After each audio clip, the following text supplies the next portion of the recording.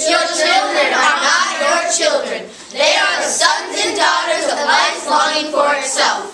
They come through you, but